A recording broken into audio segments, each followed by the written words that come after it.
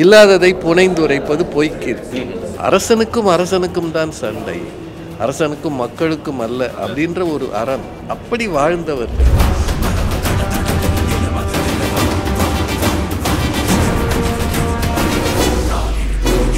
பொன்னியின் செல்வன் அப்படின்னு சொல்லும்போது வந்து நீங்கள் எவ்வளோ இடத்துல ஹிஸ்ட்ரியை பற்றி பேசியிருப்பீங்க. ஹிஸ்ட்ரியை வந்து தவறாக பேசியிருக்கீங்க திருத்திருப்பீங்க ஸோ பொன்னியின் செல்வன் அப்படின்ற ஒரு சப்ஜெக்ட் நீங்கள் வந்து காணும்போது இந்த இடத்துல கொடுக்கும்போது எப்படி இருக்குது சார் கற்பனையான மனிதர்களை விட வாழ்ந்த மனிதர்களை பற்றி திரும்பி பார்க்கும்போது வாழ்க்கை இன்னும் அர்த்தமுள்ளதாகிறது இந்திய வரலாற்றில் சோழ மன்னர்களுக்கு இருந்த பெருமை கீர்த்தி மெய்கீர்த்தின்னு சொல்லுவாங்க. அது- அது என்ன பொய்க்கீர்த்தி இல்லாததை புனைந்துரைப்பது பொய்க்கீர்த்தி அது அது மித்துன்னு சொல்லலாம். ஆனால் வாழ்ந்து பெரும் போர்கள் செய்து அதுலேயும் அறத்து அறவழியில் நின்று போர் செய்து ஒரு குறிப்பாக சொல்லணும்னா இலங்கைக்கு படையெடுத்து போகிறாங்க போகும்போது அந்த ஊர் பொருட்களை கொள்ளையடிக்காமல் அங்கே இருக்கிற வீரர்களுக்கு இங்கிருந்து உணவு அனுப்புகிறாங்க இப்போது அரசனுக்கும் அரசனுக்கும் தான் சண்டை. அரசனுக்கும் மக்களுக்கும் அல்ல அப்படின்ற ஒரு அறம் அப்படி வாழ்ந்தவர்கள். இந்த விஜயாலய சோழன் வம்சம்ல வந்த இந்த பொன்னியின் செல்வன் பின்னாடி அவரை ராஜராஜ சோழன் அவரது பயன் மைந்தர் ராஜேந்திர சோழன். எல்லாம் வந்து அந்த வரலாற்றில் இடம் பிடித்த ஒரு கதாபாத்திரங்கள். பிரம்மாண்டங்கள். சிஜி ஒர்க் அல்ல. அதையெல்லாம் நினச்சி பார்க்கல சந்தோஷமாக இருக்குது கல்கி அதை மிகச்சிறப்பாக மூன்றரை ஆண்டுகள் எழுதினார். அதை இவ்வளவு பிரம்மாண்டமாக படம் எடுத்திருக்காங்க நினைக்கும் போதே நெஞ்சம் பெருமிதம் கொள்கிறது. இந்த படம் வெளிவருகிற காலத்தில் நாம் இருக்கிறோம். மகிழ்ச்சி.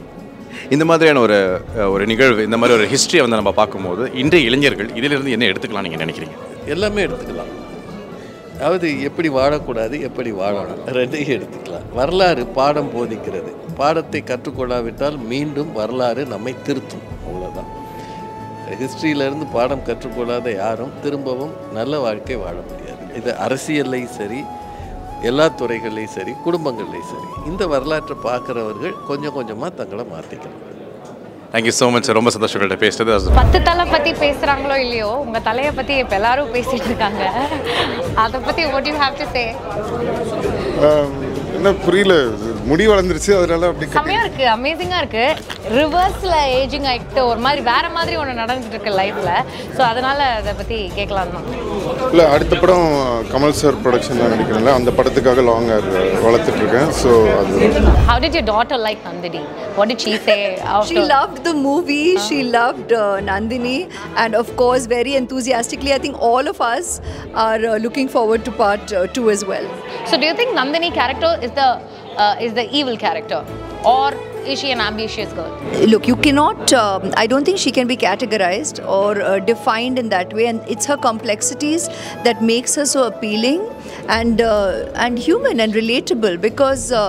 All her decisions and uh, the way she conduct, conducts herself through the narrative is um, very well um, established and understood by the readers of the book as well as the viewer of the movie. An experience very, very dear to my heart. So I'm, I'll be forever grateful, and Nandini will remain special. Yes, absolutely. As uh, Rajni sir said, we wanted it to be Ponni and Selvi as well. yes, and, He's uh, just so love to- generous, adore him, and I can't thank him enough. Thank, you, ma'am. Thank you. Thank, you so much. Thank you.